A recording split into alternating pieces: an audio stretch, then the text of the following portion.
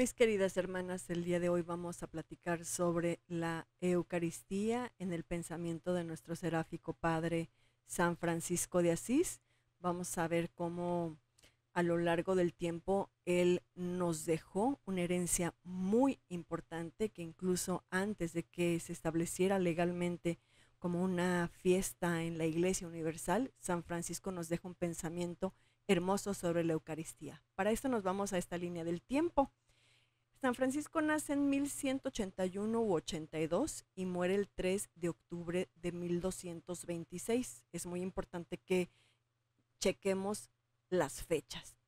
Eh, después de que él muere, eh, ya para el año 1247, Juliana de Moncornillón propone una fiesta en honor del Santísimo Sacramento.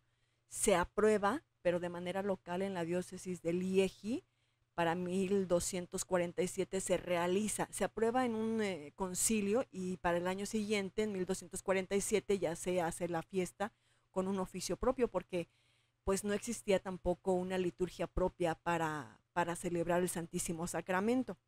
Entonces, aquí es importante saber que San Francisco de Asís tenía una comunión, una, una comunicación tan cercana con nuestro Señor, con Jesús, Eucaristía, que vamos a ver más adelante cuál es ese pensamiento que nos deja San Francisco de Asís como herencia a toda la familia franciscana.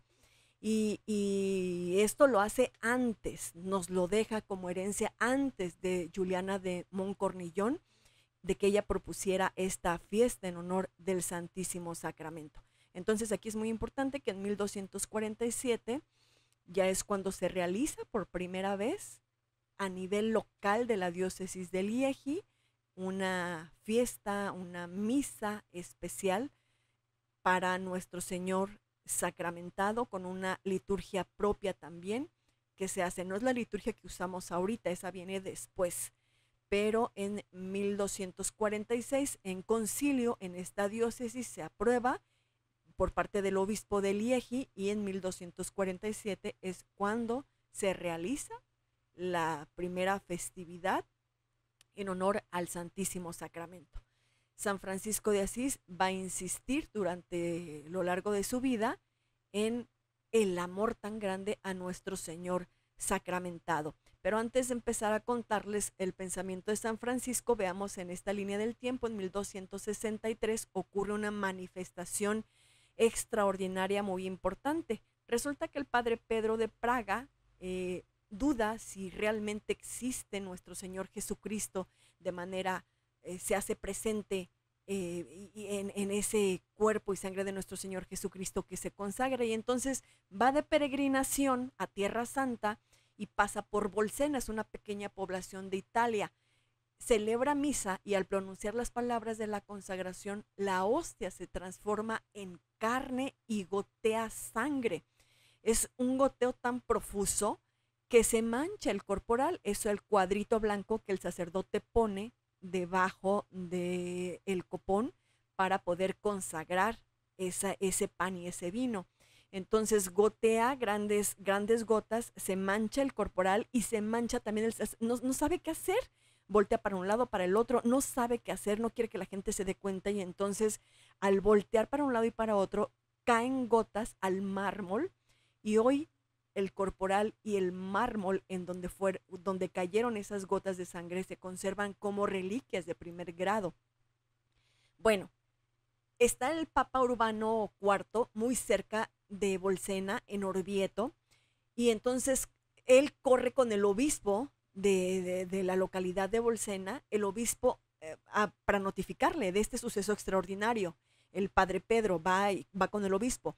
Y entonces el obispo va con el Papa Urbano IV y le encarga mucho ojo. Le encarga a un franciscano, y no cualquier franciscano, le encarga a San Buenaventura, que era superior en ese tiempo de los frailes franciscanos, que vaya y confirme los hechos, que sea el teólogo, lo designó como el teólogo para que confirmara los hechos.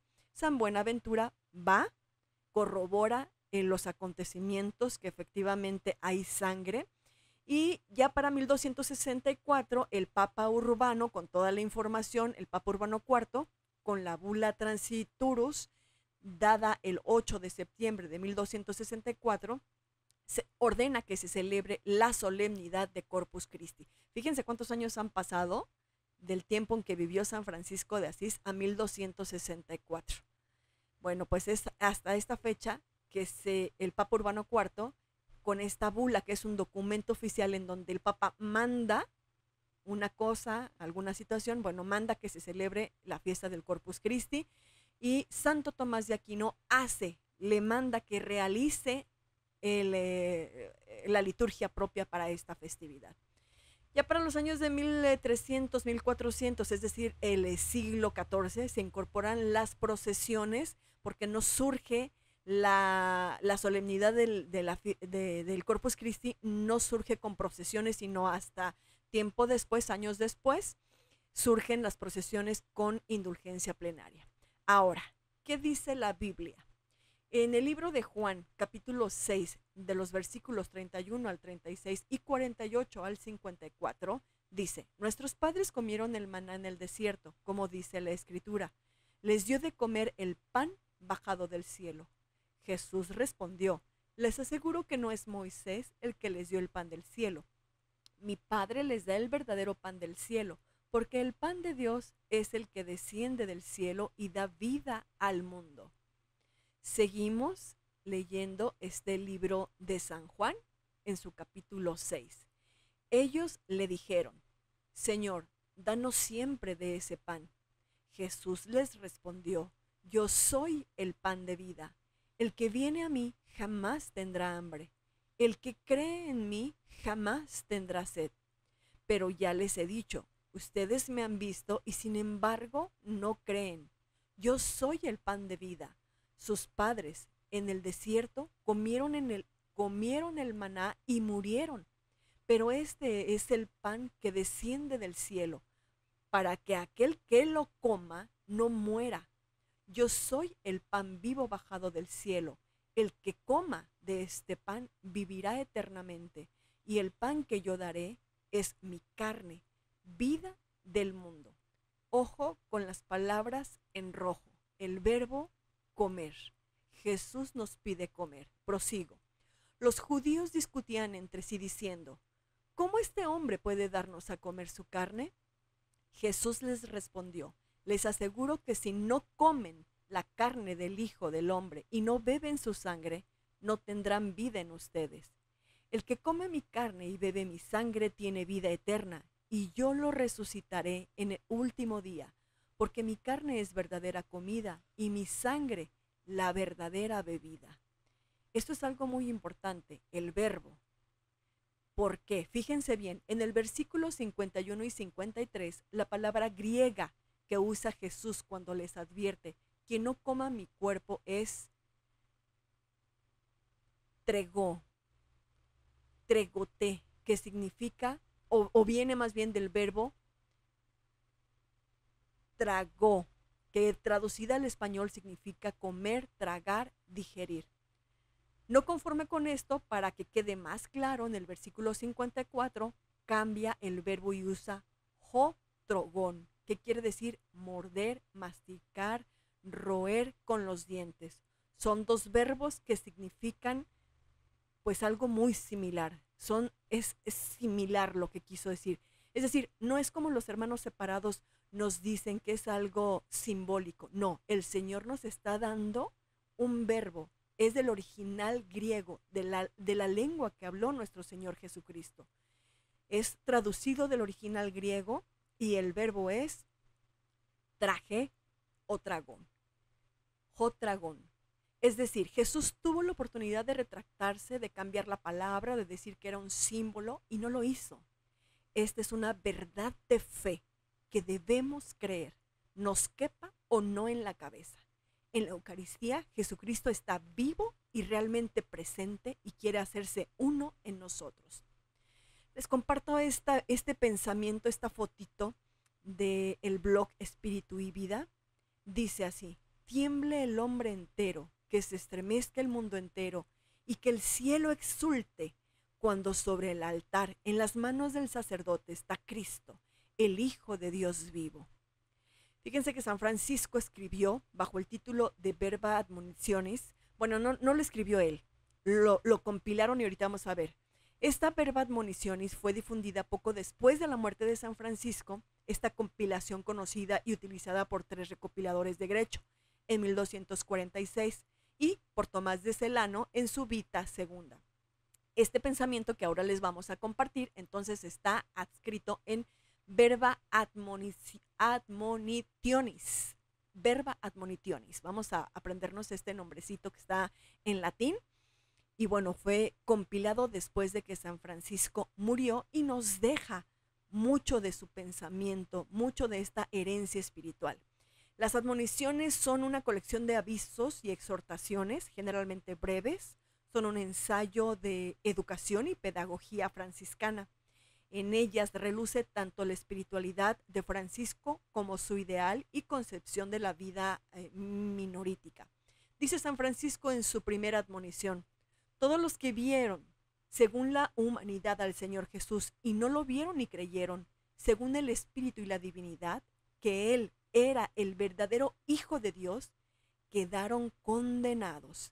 Del mismo modo ahora, todos los que ven el sacramento, que se consagra por las palabras del Señor sobre el altar, por manos del sacerdote, en forma de pan y vino, y no ven ni creen, según el Espíritu y la divinidad, que es verdaderamente el santísimo cuerpo y sangre de nuestro Señor Jesucristo, están condenados. Como atestigua el Altísimo mismo, dice, esto es mi cuerpo y la sangre de mi Nuevo Testamento, que será derramada por muchos. Esto nos lo recuerda en Marcos 14, 22 al 24. Y quien come mi carne y bebe mi sangre tiene vida eterna, como lo vimos en Juan 6, 55. Son palabras muy fuertes que nos recuerda nuestro seráfico Padre, San Francisco de Asís, para tener vida y vida en abundancia. Francisco nos habla de un Jesús histórico, cuando vivía en la tierra y en su humanidad ocultaba toda su divinidad. Aquí en esta fotito les comparto el pensamiento también es del blog Espíritu y Vida. ¿Por qué no reconocéis la verdad y creéis en el Hijo de Dios? Como se mostró a los santos apóstoles en carne verdadera, así también ahora se nos muestra a nosotros en el pan sagrado. De la misma forma ahora, las especies sacramentales ocultan su divinidad y su humanidad. Cristo Redentor se nos hace presente en este sacramento a fin de que lo veamos, lo contemplemos en la fe, nos unamos, nos identifiquemos con Él en espíritu y, como creyentes, obtengamos por Él la vida. Quien cree y vive esta realidad es incorporado a la obra de salvación de Cristo. Francisco exhortaba esto no solo en su vida, sino en el asombro y la alabanza diciendo, tiemble el hombre entero, que se estremezca el mundo entero y que el cielo exulte cuando sobre el altar, en las manos del sacerdote, está Cristo, el Hijo del Dios vivo. Hermosísimas palabras.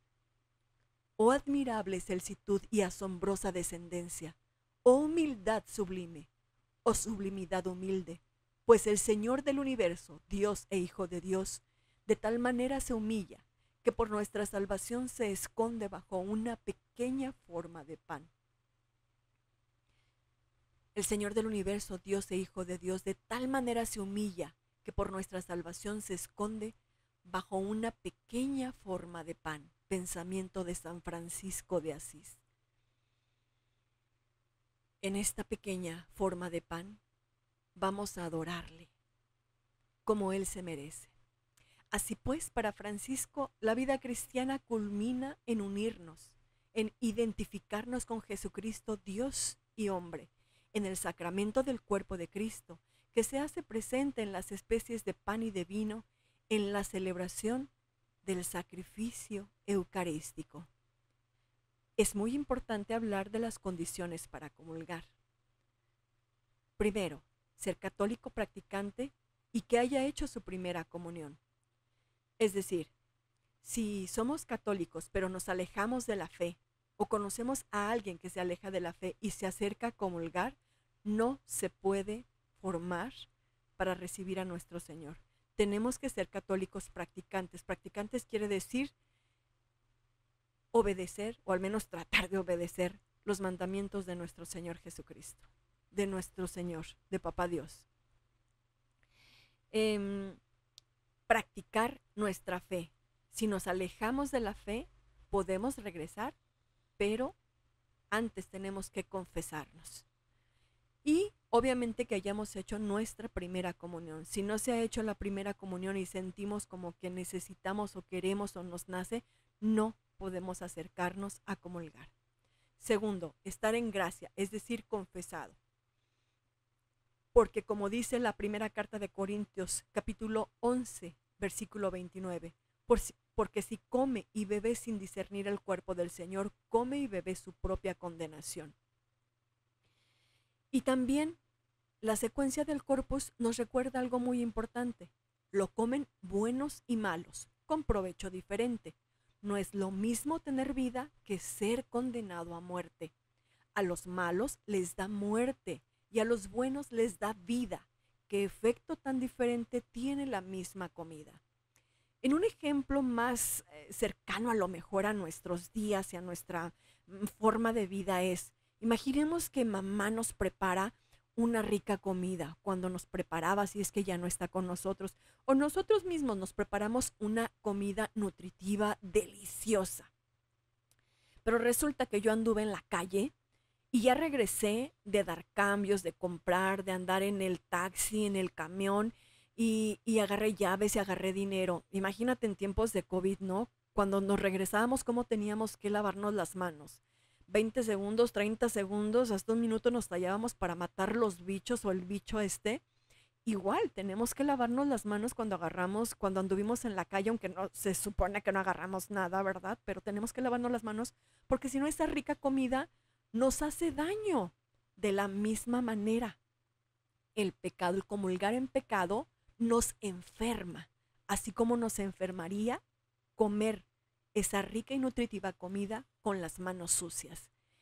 Entonces, tenemos que estar en gracia, es decir, confesados, porque si no, esa misma comida, esa comida deliciosa que nos dejó nuestro Señor para nuestro bien, en lugar de ser un bien para nosotros, nos enferma el alma, nos condena a muerte.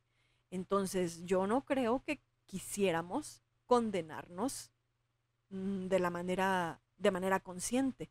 Entonces ahora ya sabiendo esta segunda condición para acercarme a comulgar, con mayor razón debo de procurar siempre estar en gracia, es decir, correr al sacramento de la confesión, ponerme en remojo, así como nos poníamos las manos a tallar y a tallar para quitar todos los bichos en tiempos de COVID y que deberíamos de seguir haciéndolo como una práctica de higiene.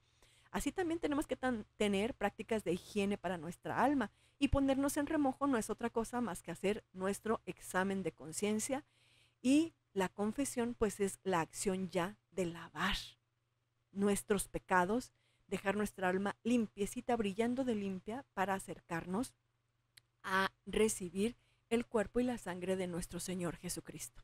No es lo mismo recibir a una visita, una visita anhelada, una visita importante, con la casa toda tirada, toda sucia, sin barrer, trapear, sin, sin que huela rico, que esté limpia la casa, a recibir a esa persona muy importante con la casa tirada, oliendo feo, eh, con la basura en, la puerta, y, así es eh, estar en pecado. Entonces, ya yo creo que con estos dos ejemplos nos queda clarísimo este segundo punto, esta segunda condición para comulgar, que debo confesarme, debo estar en gracia, acudir al sacramento de la reconciliación, de la penitencia, de la confesión, como quieras llamarle, es correcto de las tres maneras, pero estar en gracia para recibir el cuerpo y la sangre del Señor, para que en lugar de muerte mi alma tenga vida y yo pueda fortalecerme con la gracia que me da eh, la comunión de nuestro Señor.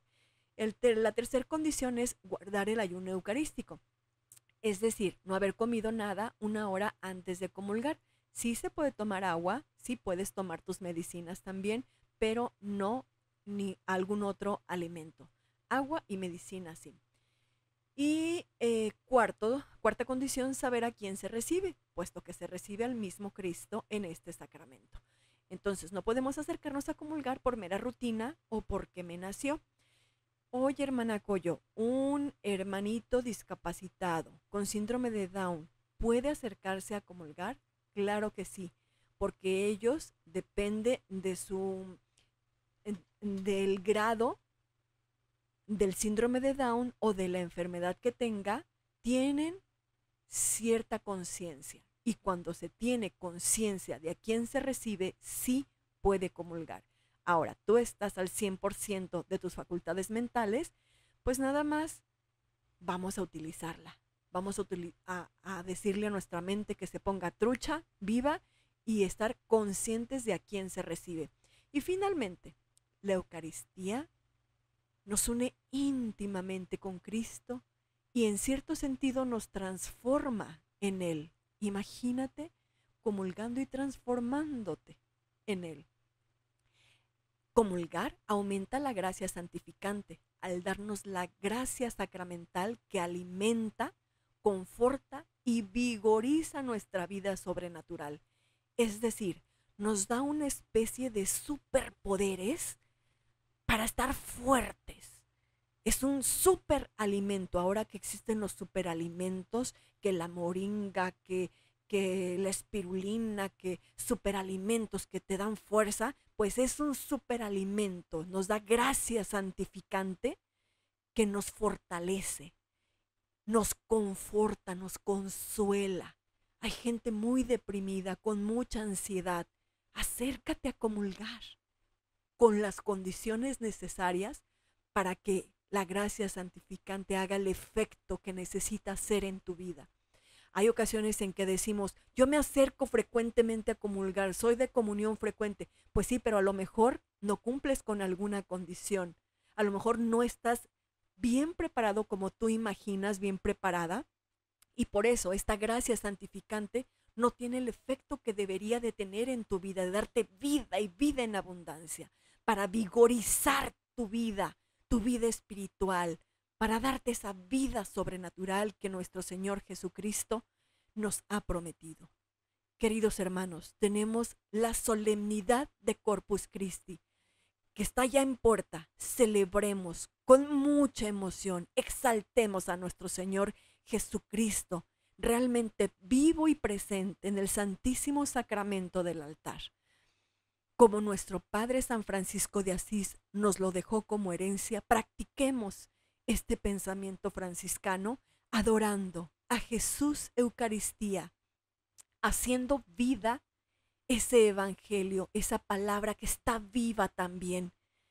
Hagámosla vida en nuestra vida diaria, aquí donde nos ha tocado vivir, en el trabajo, en la escuela, en nuestro hogar, con nuestra familia, con nuestros hijos, con nuestra esposa, esposo, con los compañeros de trabajo, con todos, hermanos. Estamos invitados a santificar el nombre de nuestro Señor en vida. Hagamos vida el Evangelio, hagamos vida lo que esta herencia tan hermosa que nos dejó nuestro Padre San Francisco de Asís. Y a vivir el Corpus Christi, el jueves de Corpus es misa de precepto, que quiere decir que si no voy a misa pierdo mi comunión. Hay que ir a misa por amor, porque amo tanto a nuestro Señor Jesucristo, que por eso voy y porque no quiero perder esa comunión. Y después hay procesión, un, una caminata de adoración pública para decirle a todo el mundo que amo con todo mi ser a nuestro Señor Jesucristo, que no hay nada más grande en este mundo que su amor presente en el Santísimo Sacramento del altar. Paz y bien, mis queridos hermanos.